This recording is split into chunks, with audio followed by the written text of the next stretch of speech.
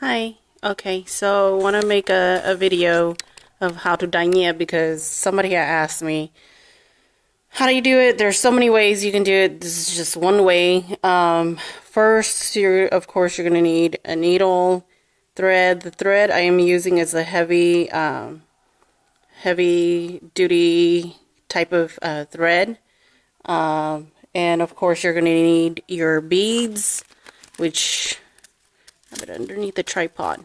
But I bought a whole bunch of beads um, for $8 at the Hmong store. You could also buy the more expensive ones. The reason why these are cheaper is because uh, after a while, Justine, no nindindina, okay? Uh, I also got the more expensive one, which I have it in a different bag. They look identical, but these, the y'all, uh, your beads, Nichi, um, DC, um, the cheaper ones. I'm using the cheaper ones right now, not the expensive one.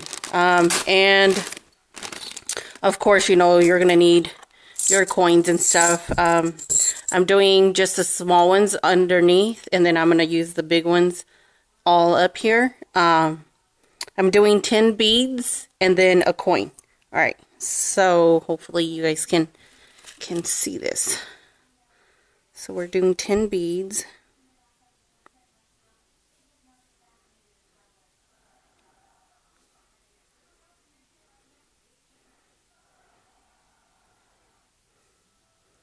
That's 10, 10 beads. Now you need your coin. And what I do, I don't really care which way it's turning. Just do the first knot at your coin to the carat I do a second or third one. And then I go back up.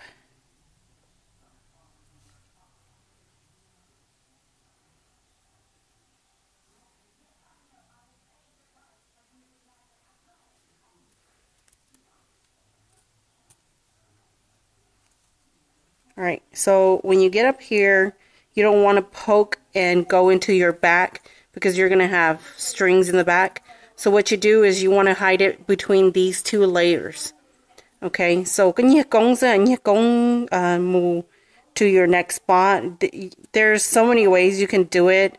You can uh, make it as thick as you want or as light as you want. Có all line na jeni inyo go it it it's I don't know. To me, I really I like it thick, like like this. This is not thick, thick, but this is thick enough. So, and you just keep continuing it until uh, you're in. And um, so far, this is this is my in right here. But since uh, someone had asked, I just did a quick video. But let me zoom back if I can. Oh, I don't think I can. I think I'm close. But I'll take pictures of it when I'm done with everything with the coins on top so you guys can see the um, the whole whole thing. Okay.